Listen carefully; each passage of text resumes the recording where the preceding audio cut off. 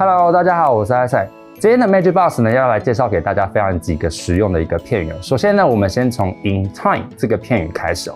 那大家其实蛮常的，蛮容易把这个 in time 跟 on time 这两个片语搞混哦。那 in time 表示的意思呢，有及时的意思。然而呢，on time 则表示是准时。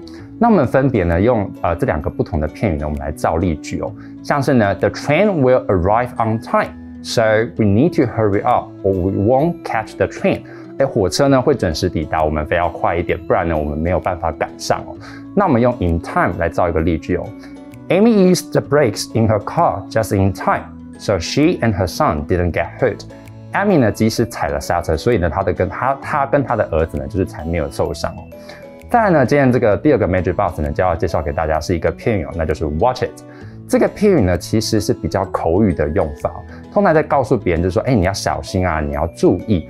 那我们用这个片语呢，我们来造一个例句哦。比方说，Watch it，you were nearly hit by a car。哎，小心一点，你几乎其实快要被车撞到了。那其实这个片语呢，我们也可以把它用另外一个片语来替换，那就是 Watch out，那也是没有问题的。那其实表示的意思呢，也是小心、注意这样子的。那我们刚刚的那一个例句呢？其实我们也可以把它改换成 Watch out, you were nearly hit by a car。那这样也是没有问题的哦。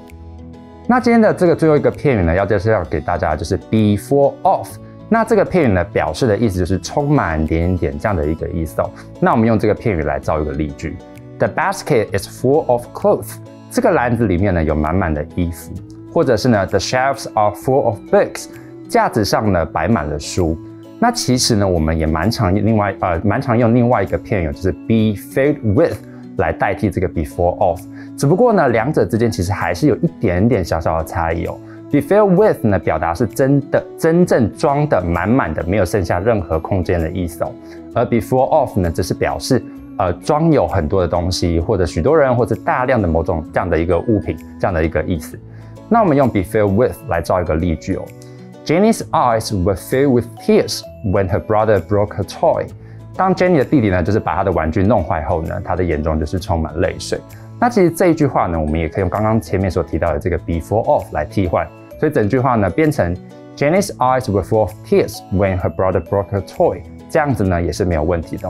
好啦，希望今天你们有学会今天的 Magic Box，我们下次见，拜拜。